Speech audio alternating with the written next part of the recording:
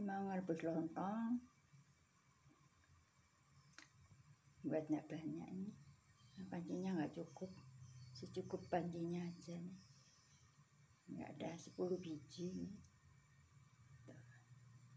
ini kalau saya masak 3 jam. Hitungnya pas mendidih ya sudah mendidih. Kalau gini belum dihitung. Pas mendidih hitungnya begitu jam nanti satu jam dibalik. Dibalik nanti ditambahin air lagi. Kalau kering asal tambahin lagi.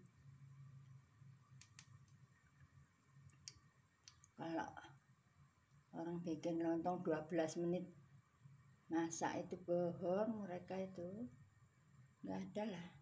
12 menit. Ya biar di nasinya di anu dimasak setengah matang ya masih tetap lah setengah jam tiga perempat jam.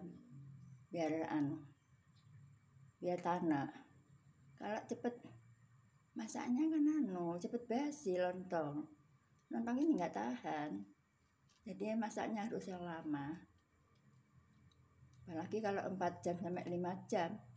Dua hari masih bagus